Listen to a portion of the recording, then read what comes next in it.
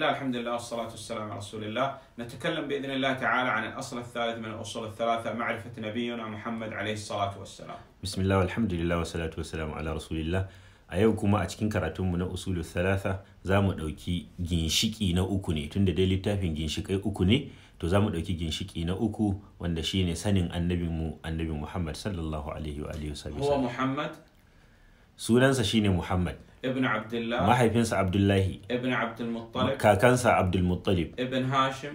Sai Hashim. Hashim min Quraysh. Hashim kuma yana cikin kabilan Qurayshawa. Wa Quraysh min al-Arab. Su kuma kabilan Qurayshawa wani ɓangare ne na Larabawa. Wal Arab min zuriyat Isma'il ibn Ibrahim alaihima wa ala nabiyina afdalus salatu wassalam su kuma Larabawa suna cikin zurriyar Annabi Isma'il. Allah ya ƙara salati wa annabi Ismail da annabi Muhammad sallallahu alaihi wa alihi wa sahbihi wa sallam. Lahu min al-umr 63 Annabi sallallahu alaihi wasallam yayi rayuwarsa tsawon shekara 63. Minha 40 qabla an-nubuwah. Shekara 40 gabanin ya zama annabi. 23 nabiyyan wa rasul. Shekaru 23 kuma a lokacin yana annabi manzo. Huwa nabi wa rasul. Shi annabi ne ko manzo ne? أول ما نزل عليه عليه الصلاة والسلام وهو نبي اقرأ باسم ربك الذي خلق وأول ما نزل عليه وهو رسول يا أيها المدثر farkon abin da ya sauka masa dan ya nuna cewa shi annabi ne na Allah shine faɗin Allah iqra bismi rabbikal ladhi khalaq ayoyi biyar na farkon wannan sura farkon kuma abin da ya sauka masa dan ya nuna cewa shi manzo ne shine ya ayyuhal muddathir إلى ماذا يدعو؟ يدعو للتوحيد وينذر عن الشرك zuwa ga mai annabi sallallahu alaihi wasallam yake yin da'awarsa yana yin da'awansa ne cewa mutane su yi tauhidin Allah su kadaita Allah yana kuma musu gargadi ya hane su aikata shirka بعث إلى الثقلين الجن والإنس an turo shi ne zuwa ga bangarori guda biyu zuwa ga mutane zuwa ga aljanu ما معنى هذا؟ معنى هذا أن كل من بلغته دعوة محمد عليه الصلاة والسلام ولم يؤمن به فهو كافر كفر أكبر كان من كان يهودي نصراني مجوسي ma'anan wannan kuma shine duk wadda saƙon manzancin manzon Allah sallallahu alaihi wasallam ya iso wajensa sai kuma bai yi imani da shi ba to wannan mutumin kafiri ne nau'in kafircin da ke fitar da mutum daga musulunci. Wannan mutumin ba yahude ne ko ba nasare ne ko ba majuse ne mutum ne ko kuma aljani ne.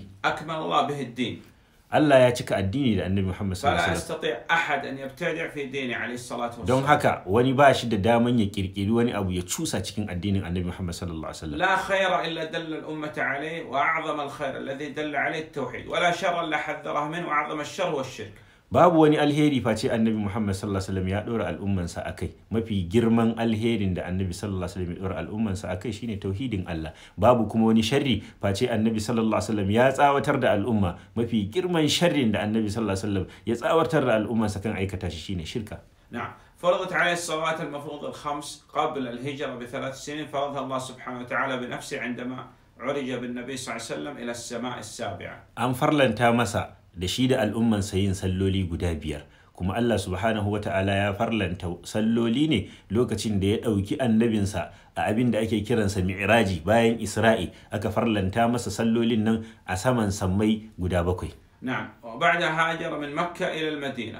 an yi haka gabanin hijiransa da shekara uku sa'an nan kuma sai ya hijira daga makkan zuwa garin madina وفرضت عليه بالمدينة بقية شرائع الإسلام كالجهاد والأذان والأمر بالمعروف والنهي عن المنكر sauran shari'o'in musulunci kuma sai aka farlanta masa su a garin madina kamar kiran sallah kamar jihadi kamar umarni da kyakkyawa kamar hani ga mummuna ومات عليه الصلاة والسلام ودفن بالمدينة لأن النبي صلى الله عليه وسلم بشر الحق ما الحق البشر sai kuma annabi sallallahu alaihi wasallam bayan ya karisa rayuwarsa yayi shekaru goma a garin madina to sai kuma ya rasu. Saboda annabi sallallahu alaihi wasallam mutum ne duk abin da ke samun mutane na cuta da mutuwa shi ma yana samunsa kuma ya same shi. أسأل الله سبحانه وتعالى أن جمعنا بنبينا عليه الصلاة والسلام في الفردوس الأعلى من الجنة والله أعلم صلى الله على نبينا محمد وآله وصحبه وسلم ya Allah muna roƙonka ka haɗa mu mu da annabi Muhammad sallallahu alaihi wasallam a aljannan firdausi salati da sallama su ƙara tabbata a gare shi da sahabbansa da kuma iyalansa gaba ɗaya